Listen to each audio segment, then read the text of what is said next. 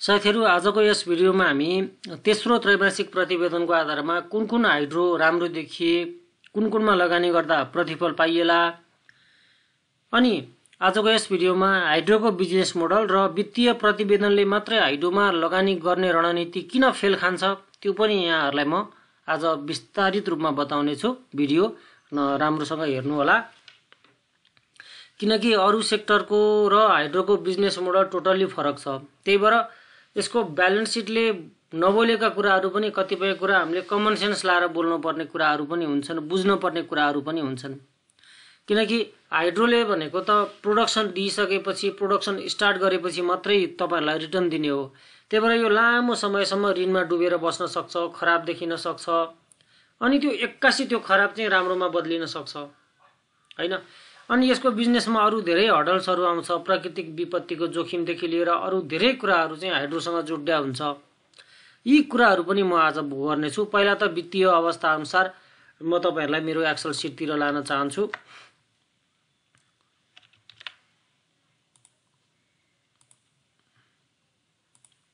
Okay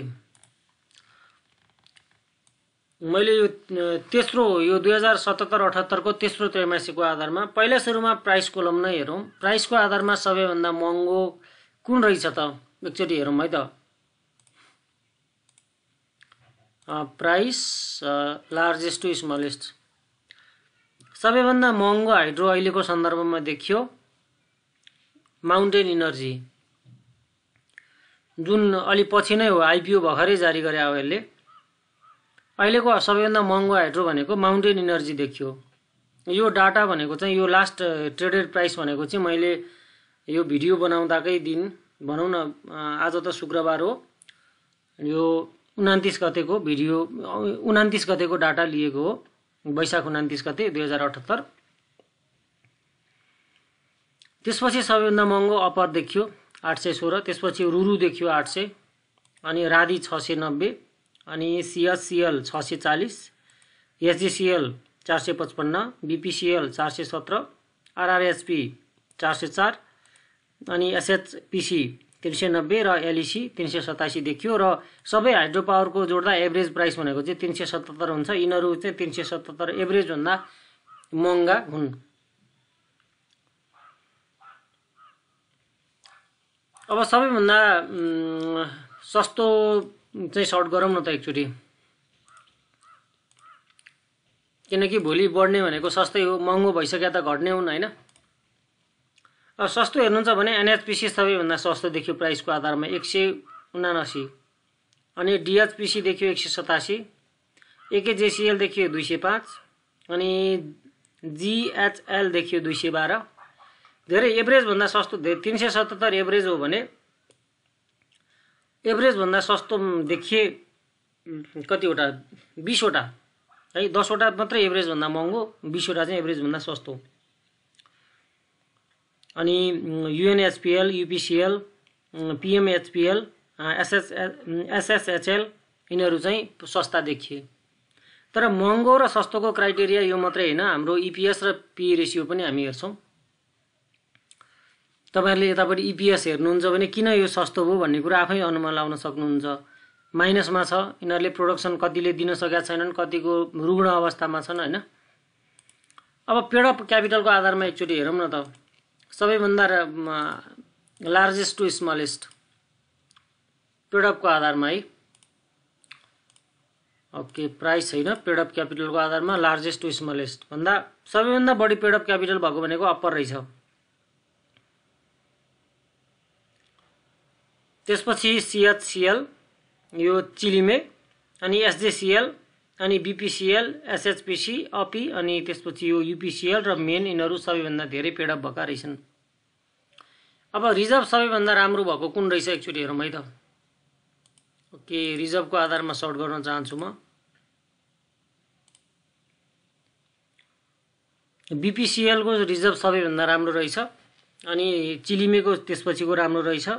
अनि सानिमाको रहेछ। अनि माउन्टेन इनर्जीको रहेछ अनि अपीको रहेछ। सबैभन्दा राम्रो रिजर्भ अब हाम्रो gross income from power sale विद्युत बेचेर नाफा कमाउनेमा सबैभन्दा धेरै राम्रो कुन कुन रहेछन्? अब सबैभन्दा हेर्न पर्ने नै यही हो। जसले बढी कमाइराखेको छ उसैले होइन? चिलिमेले सबैभन्दा धेरै कमाउँदो रहेछ विद्युत बेचेर। त्यसपछि एसएचपिसीले पनि कमाउँदो रहेछ सानिमामाई हाइड्रो पावरले पनि। अनि एकेपिएलले कमाउँदो रहेछ त्यसपछि बिपिसिएलले कमाउँदो रहेछ अनि माउन्टेन हाइड्रो नेपालले कमाउँदो रहेछ अपिले कमाउँदो रहेछ पाँच थर पावर कम्पनीले कमाउँदो रहेछ अनि पञ्चकन्यामाया हाइड्रो पावरले कमाउँदो रहेछ होइन? यिनीहरू चाहिँ प्रोडक्सन दिइराखेकै हुन्।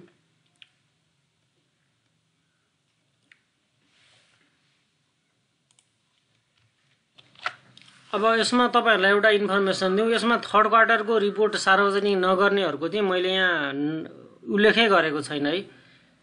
थर्ड क्वार्टरको यदि कुनैले रिपोर्ट सार्वजनिक गरेको छ कुनै राम्रो कम्पनीले पनि रिपोर्ट सार्वजनिक नगरेको हुनसक्छ। त्यो चाहिँ यहाँ छैन। अब अहिलेसम्म रिपोर्ट सार्वजनिक नगर्ने भनेपछि अब मैले रिपोर्टको वेट गरिनँ। जतिले अभाइलेबल जतिले रिपोर्ट निकालेका छन् त्यो त्यसको इन्फर्मेसन मात्रै लिएँ मैले। जस्तै यहाँ पछिल्लो समय विभिन्न विभिन्न कम्पनीहरू हुन्छ नि यो आइपिओ जारी गरेको तिनीहरूले धेरैले रिपोर्ट ननिकाले पनि हुन सक्छन् अब नेट प्रफिटको आधारमा एकचोटि सर्टिङ गरौँ है त फेरि। Largest to smallest net profit net profit सबैभन्दा राम्रो चिलिमेको देखियो त्यसपछि सबैभन्दा राम्रो बिपिसिएलको देखियो अनि एसएचपिसीको देखियो। अनि एकेपिएलको देखियो अनि अपिको देखियो अनि अरुण भ्यालीको देखियो। अरू अरू पनि मेन्सन गर्न लायकको छन्। अरू पनि मेन्सन गर्न लायकको चाहिँ छन्। जस्तै यो राधी केपिसिएल रुरु यिनीहरूले पनि राम्रो प्रफिट जेनेरेट गरेको रहेछन्। अनि युएमएचएल माउन्टेन इनर्जी अनि आरआरएसपी यिनीहरूले पनि राम्रो प्रफिट जेनेरेट गरेको रहेछ। अब इपिएसको आधारमा एकचोटि सर्टिङ गरेर राम्रा हेरौँ है त। यो इपिएसले चाहिँ सबै कुराको सङ्केत गर्छ। त्यसले पेडअपलाई पनि हेर्या हुन्छ अनि इपिएस क्यालकुलेसनमा पेडअप क्यापिटललाई पनि जोड्या हुन्छ। त्यही भएर इपिएस राम्रो छ भने डिभिडेन्ड क्षमता पनि राम्रो हुन्छ। रुरु जुन प्रिमियममा आइपिओ जारी गरेको थियो त्यसको इपिएस सबैभन्दा राम्रो देखियो बाइस। बिपिसिएलको त्यसपछिको राम्रो देखियो बिस। अनि राधी अनि एकेपिएल एसएचपिसी केपिसिएल सिएचसिएल आरआरएसपी अपी एन एनजिपिएल युएमएचएल एएचपिसी युएमआरएच यिनीहरूको पनि इपिएस अब राम्रो त के भन्ने दसभन्दा बढी राम्रोलाई राम्रो मान्ने हो भने भनौँ न सातवटा कम्पनी देखिए है? एभरेजभन्दा राम्रो भनेको चाहिँ यो यति धेरै परे कतिवटा? तेह्रवटा। अब राम्रो त हेऱ्यौँ अब सस्तो राम्रो भइकन सस्तो त एकछिनमा हेरौँला। अब सस्तो चाहिँ के हेरौँ न त पी रेसियो सबैभन्दा सस्तो कम भएको। पी रेसियोको आधारमा सबैभन्दा सस्तो भनेपछि अब यो धेरै आउँछ अप्पर एसजेसिएल एनएचपिसी यो माइनसमा आउँछ यो माइनसमा आएको नहेर्नु होला होइन? किनकि यो इपिएस पनि माइनसमा भएर मात्रै यो माइनस आएको हो। अब अहिले एकछिनमा हामी सस्तो पनि राम्रो पनिमा हेरौँला है त यो पी रेसियो र इपिएसको आधारमा क्यालकुलेसन गरौँला। यो धेरैको इन्डिके धेरै इन्डिकेटरहरूको एउटा समरी चाहिँ यो इपिएसमा आएर झुन्डिएको हुन्छ कि? इपिएसले सम्बोधन गरे हुन्छ। अब आरओई रिटर्न दिने हिसाबले चाहिँ कुन कम्पनी राम्रो त? एकचोटि आरओईको आधारमा लार्जेस्ट टु स्मलेस्ट सर्च गरौँ ओके आरओई राम्रो दिनेमा रुरु नै रहेछ। इकेपिएल एसएचपिसी रादी केपिसिएल बिपिसिएल आरआरएसपी यहाँ तपाईँले ऱ्याङ्किङ हेर्नु होला रिटर्न दिने हिसाबले यिनीहरू नै राम्रा देखिए। ओके यिनीहरू नै राम्रा देखियो अब बुक भ्यालुको आधारमा पनि एकचोटि हेरौँ। सबैभन्दा राम्रो बुक भ्यालु भएको कुन रहेछ? Book value largest to smallest sort गरौँ। दुई सय प्लस भएको एउटा मात्रै छ। त्यो कुन चाहिँ हो भन्दा बिपिसिएल हो। त्यसपछि दुई सय पैँतिस रहेछ यसको। अर्को चाहिँ सिएचसिएल रहेछ। अर्को राधी अनि अर्को रुरु। यिनीहरू चाहिँ सबै राम्रो भएको। अब एक सय पचासभन्दा बढी हेर्ने हो भने बुक भ्यालुमा तिनवटा मात्रै छ। बिपिसिएल सिएचसिएल राधी अब हामी एकचोटि यो त मैले हरेक इन्डिकेटरको आधारमा कुन राम्रो कुन राम्रो भने अब एकमुष्ट रूपमा हामीले एकचोटि फिल्टर गरौँ है। फिल्टर गरौँ। मैले फिल्टर लगाएँ। अब यो यो बुक भ्यालुको आधारमा फिल्टर गरौँ। अब सयभन्दा बढी नै फिल्टर गरौँ। हुन त एक सय पचासको भन्दा बढीलाई राम्रो मान्छ होइन? Book value. तर एक सय पचासभन्दा बढी गऱ्यो भने दुईवटा तिनवटा मात्रै आउँछ त्यही भएर सयभन्दा माथिकोलाई फिल्टर गरेँ। अब यहाँ आयो। ओके। अब रिटर्न एन्ड इक्विटी हामीलाई रिटर्न पनि दस पर्सेन्टभन्दा बढीको को आधारमा चाहियो? ग्रेटर देन दस पर्सेन्ट भनेर लेखौँ। दस पर्सेन्ट है। मैले यो मैले पनि लाइभ नै गरिरहेको छु डाटा पछि। दस पर्सेन्ट गरेँ। दस पर्सेन्ट गर्दाखेरि त राधि रुरु एसएचपिसी केपिसिएल अनि एकेपिएल मात्रै आयो। त्यही भएर अलिकति फिल्टरलाई बढाउनै पर्ने भयो। किनकि अरू धेरै फिल्टर गर्नु छ त्यो आधारमा हामीले रिलेटिभली तुलनात्मक रूपमा कुन राम्रो भनेर हेर्नु पऱ्यो होइन। पाँच पर्सेन्टवाला मैले राखेँ। ल यति आयो। अब इपिएस मैले दसभन्दा बढीलाई फिल्टर गरेँ। Greater than ten. ल सेभेन गरौँ धेरै पनि नगरौँ। अझै फिल्टर भयो। अब पी रेसियो पनि हामीलाई चालिसभन्दा कमवाला चाहियो। भन्दा ठिकै छ। पी रेसियोलाई अहिले यथावत छोडिदिउँ। नेट प्रफिटको आधारमा पनि यो देखियो।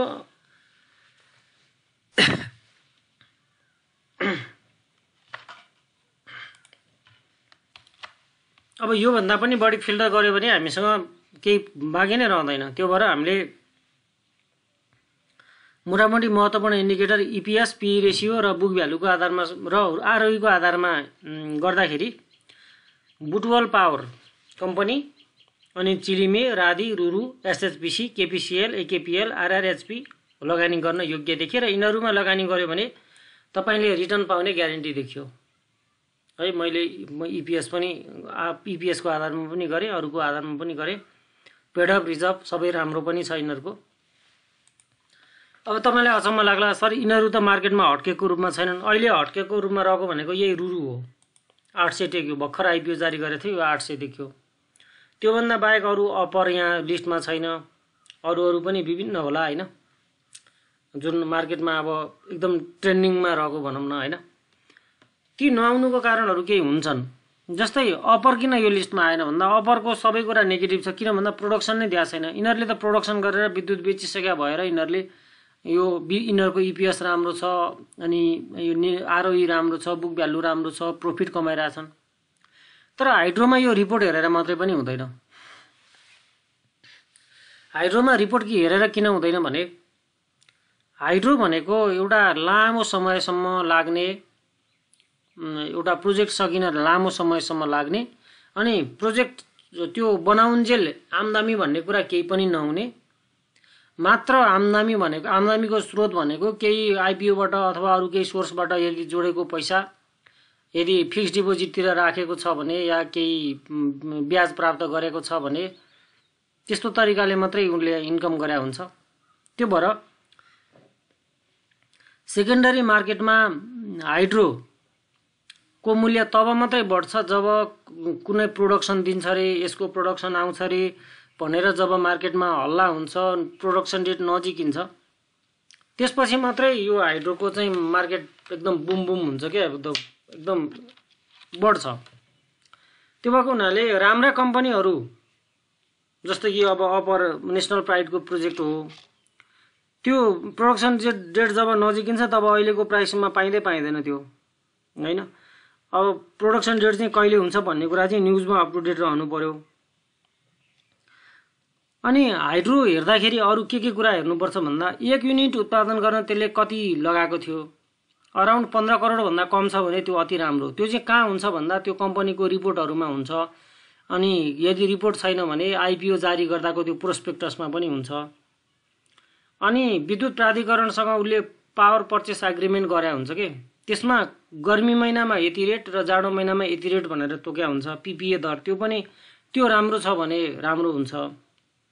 अनि त्यसले ऋण तिर्न कति बाँकी छ त्यसको ब्याजमा कति खर्च हुँदो रहेछ त्यो पनि तपाईँले हेर्नुपर्ने हुन्छ।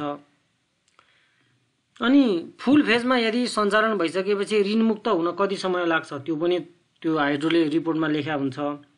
त्यो कुरा चाहिँ तपाईँले हेरेर लगानी निर्णय गर्नुपर्ने हुन्छ। है? त्यो कम्पनीको तपाईँले अब यी मैले सेलेक्ट गरेर भनेका कम्पनीहरू र अरू कम्पनीहरू जो प्रोडक्सन रेट नजिक हुँदैछन् तिनीहरूको चाहिँ फाइनेन्सियल रिपोर्ट राम्रोसँग अध्ययन गर्नुहोला। र हाइड्रोको सन्दर्भमा अर्को एउटा महत्त्वपूर्ण कुरा हाइड्रोको इन्कम जहिले पनि लिमिटेड हुन्छ कि त त्यसले प्रोजेक्ट रन गरेर प्रोजेक्ट थपेर बढाउन सक्छ। जस्तै रुरुले कुनै प्रोजेक्ट गरिरहेछ उसको त त्यो तिस वर्षसम्मको कमाइ क्यालकुलेसन गर्न सकिन्छ कि अहिलेबाट। र यो वर्ष यसले यति दिन्छ भन्ने कुरा अहिले प्रोडक्स प्रोजेक्सन गर्न सकिन्छ। कि त उसले प्रोजेक्ट थपेर नयाँ कुनै हाइड्रो पावरको प्रोजेक्ट बनाएर थप्नु पर्यो। त्यही भएर यो हाइड्रो भनेको असीमित इन्कम हुने जस्तै ब्याङ्कले ग्रोथ गर्न सक्छ शाखा शाखाहरू विस्तार गरेर यताउता होइन? तर यिनीहरूको त शाखा भन्ने केही पनि हुँदैन। यिनीहरूको भनेको एउटा त्यो कार्यालयमा अपरेटिङ इन्कमहरू मात्रै बढाउने हो कस्ट कन्ट्रोल गरेर होइन? त्यो पनि एउटा विचार गर्नुपर्ने कुरा। अर्को नेपालमा समग्र हाइड्रोको मार्केट के छ भन्दा नेपाल अहिले विद्युतमा आत्मनिर्भर झन्डै झन्डै भइसकेको छ। भारतबाट अलिअलि इम्पोर्ट भइरहेको अवस्था हो। अब यो अपर राष्ट्रिय प्रसारण लाइनमा जोड्ने बित्तिकै नेपालमा विद्युत वालछ्याल हुन्छ। सरकारले ल बिजुलीबाट चलाऊ बिजुली चलाऊ भनेर इन्डक्सन चुलो बाँडेर ग्यासलाई प्रतिस्थापन गरेर यो पेट्रोल पम्पहरूलाई विस्थापित गरेर विद्युतीय यातायात राखेर यदि गर्यो भने अपर लगायत जति पनि अहिले सञ्च अहिले यो प्रोडक्सन दिने क्रममा रहेका छन् तिनीहरूको विद्युत खेर जाँदैन। हुन त पनि खेर जान्छ। अहिले चलेको हाइड्रोमा त कति ट्रान्समिसन लाइन नब नबनेर विद्युत प्रोडक्सन पनि खेर गइरहेछ। जस्तै सिङ्गटीको तपाईँको ट्रान्समिसन लाइन नबनेर उसले विद्युत बेच्न पाइरहेको छैन। भनेपछि यो त एउटा अप्ठ्यारो कुरा भयो नि त होइन? हो यस्ता कुराहरू पनि तपाईँले हाइड्रोमा लगानी गर्दा विचार गर्नुपर्छ। र यो कम्पनीहरू जति लिस्टमा छ नि यो इन्भेस्टमेन्ट गरेर तपाईँले प्रतिफल पाउन योग्य कम्पनी हो। तर ट्रेड गरेर कमाउन यही कम्पनीमा जानुपर्छ भन्ने छैन। ट्रेड गर्नको लागि अरू कम्पनीहरू पनि छ। म यो एकचोटि फिल्टर क्लियर गर्छु। जस्तै अपर तामाकोसी एउटा बेस्ट होइन राष्ट्रिय गौरवको आयोजना हो। त्यो पनि एउटा राम्रो अप्सन हुनसक्छ। अनि त्यसपछि विभिन्नहरू यो बरुण सिएचएल आजभन्दा एक वर्ष अगाडि पचासदेखि सय रुपियाँमा टन्न पाउँथे। यिनैमध्ये पनि कति सस्ता थिए अहिले बढ्यो। अर्को इन्डस्ट्री एनालिसिस गर्ने क्रममा यो कोरोनाको टाइम र हाइड्रो पावर किन पोजिटिभ छ भन्ने कुरा नि तपाईँले विचार गर्नुपर्छ। यो कोरोना पिरियडमा हाइड्रो बढिरहेछ। किन भन्दा कोरोनाले सबैभन्दा कम असर गर्ने क्षेत्र भनेको हाइड्रो हो। कच्चा पदार्थ भने पानी हो मेन पावर भए पनि भ हुन त हुन्छ नि तर मेन पावरको काम त्यस्तो ठुलो नहुने। पानीले पाङ्रो घुमाउने पैसा कमाउने भनेपछि यो एउटा सेफ बिजनेस हो क्या यो कोरोना टाइम या अरू अरू यस्तो कुराले गर्दा। तर प्राकृतिक विपत्तिको सबैभन्दा राम्रो हिट भनेको चाहिँ यो पहाडी क्षेत्रमा हुने तराईमा नहुने अलिकति भूकम्प बाढी पहिरो गयो भने सबैभन्दा छिटो चाहिँ हाइड्रो पावरमा असर गर्ने। बाढी आउँछ। बाढी आएपछि त्यो बालुवाको कणहरू चाहिँ छिर्दो रहेछ त्यो पाङ्रोभित्र। अनि बालुवाका कणहरू पनि त्यसले पनि प्रोडक्सन दिन नसक्ने कि। यो धेरै कुराहरू हुँदो रहेछ यो भित्र। पछि बुझिने गइन्छ है। हस् त यो भिडियोले तपाईँहरूलाई लगानी रणनीति बनाउन सजिलो भयो होला। यहाँ मैले इन्डिकेटरको आधारमा राम्रा कम्पनीहरूलाई भनिहालेँ। अरू अरू पनि छ। ती कुराहरू पनि तपाईँहरूले हेर्नुहोला। मैले इन्डिकेटरको आधारमा फेरि तपाईँहरूलाई यहाँ समरी दिन चाहन्छु। BPCL CHCL Butwal power company Chilime Radhi Ruru अनि सानिमा कालिकामाई अनि अरुण काबेली अनि त्यसपछि राइराङ यिनीहरू चाहिँ राम्रो देखिए कि लगानीको लागि। हस् त मैले यो कुरोको चुरो यति नै गरेँ। अब योभन्दा बाहेक पनि प्रोडक्सन रेट नजिकै गरेका पनि राम्रा छन् है। ती चाहिँ नराम्रा भन्न खोजे होइन। अप्पर राम्रो मान्छु सिङ्गटी पनि राम्रो मान्छु। अरू अरू होला नि त। ग्रिन लाइफले पनि प्रोडक्सन यदि दिँदैछ भने त्यो पनि राम्रो कुरा हो। प्रोडक्सन दिने खालको चाहिँ त्यसलाई राम्रोमा गर्नुपर्छ। अहिले तिनीहरूको प्राइस लो भए पनि इपिएस नेगेटिभ भए पनि प्रोडक्सन दिने क्रममा रहेका हाइड्रो उठाउँदा हुन्छ बढ्छ तिनीहरू। हस् त आजको भिडियोमा यति नै। अर्को भिडियोमा फेरि भेट्छु। धन्यवाद। स्वस्थ रहनुहोला। कोरोनाको टाइम छ। घरबाटै घरबाटै सेयरको कारोबार गरिराख्नु भएको होला। मैले पनि यहाँहरूलाई धेरै अपडेट गराइराखेको छु। यहाँहरूको मायाको लागि पनि धेरै धेरै धन्यवाद।